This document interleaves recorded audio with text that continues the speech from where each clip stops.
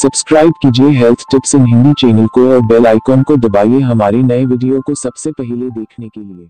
नमस्ते दोस्तों, आप सभी का स्वागत है मेरे इस चैनल पर जिसका नाम है हेल्थ टिप्स इन हिंदी तो चलिए शुरुआत करते हैं आज के इस वीडियो से जिसमें हम आपको बताएँगे कि इन चार लोगों को भूलकर भी नहीं करना चाहिए कच्चे प्याज का सेवन। वीडियो शुरू करने से पहले अगर आपने हमारी चैनल को सब्सक्राइब नहीं किया है तो लाल कलर का सब्सक्राइब बटन ज़रूर दबा लेना, क्योंकि ये बिल्कुल फ्री है। तो चलिए शुरू करते हैं आज के इस वीडियो में। भोजन को स्वादिष्ट और पौष्टिक बनाने के लिए कच्चे प्याज का इस्तेमाल ज़रूर किया जाता है। कच्चे प्याज का उपयोग खाना बनाने में। करने से खाने का टेस्ट बदल जाता है।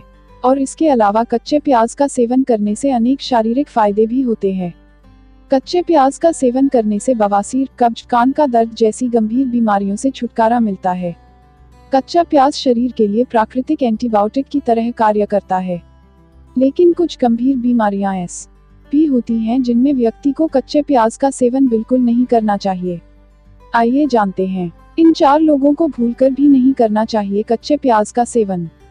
एक कम ब्लड प्रेशर जिन लोगों को कम ब्लड प्रेशर की समस्या रहती है, उन्हें कच्चे प्याज के सेवन से बचना चाहिए। कच्चा प्याज खाने से शरीर की नसें फूल जाती है और ब्लड प्रेशर और ज़्यादा कम हो जाता है।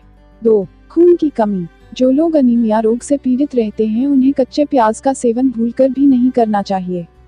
क्योंकि कच्चा प्याज खाने से शरीर का फैट और ब्लड कम हो जाता है और शरीर में खून की कमी होकर अनीमिया रोग हो जाता है। तीन, लीवर से जुड़ी बीमारियाँ। जिन लोगों को लीवर संबंधी समस्याएँ होती हैं, उन्हें भी कच्चे प्याज का सेवन बिल्कुल नहीं करना चाहिए। कच्चे प्याज का सेवन करने से लीवर संबंधी बीमारियाँ और ज़्यादा गंभीर हो सकती हैं। चार, ब्लीडिंग की समस्या। जिन लोगों को शरीर में ब्लीडिंग की समस्या रहती है, उन्हें कच्चे प्याज का सेवन नहीं करना चाहिए। कच्चे प्याज का सेवन करने से ब्लीडिंग की समस्या और ज़्यादा बढ़ सकती है। दोस्तों, हमें उम्मीद है कि आपको यह वीडियो ज़रूर पसंद आया होगा। इससे संबंधित कोई भी सवाल हो तो हमें कमेंट ज़रूर करें और से ही वीडियो को देखने के लिए हमें लाइक शेयर व सब्सक्राइब करना न भूले। धन्यवाद।